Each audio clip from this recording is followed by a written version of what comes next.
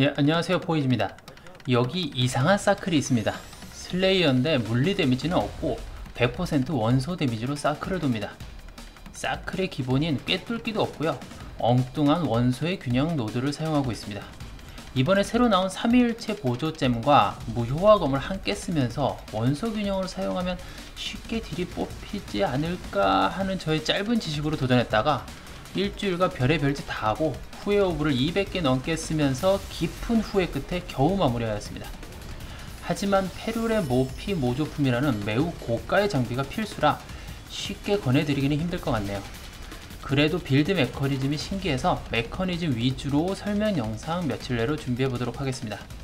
헤드헌터를 사기 위해 모아놓은 제 돈을 모조리 가져간 build 이상한 사클 build 조금만 더 다듬어서 다음 방송 때 성능 테스트 해보도록 하겠습니다. 감사합니다.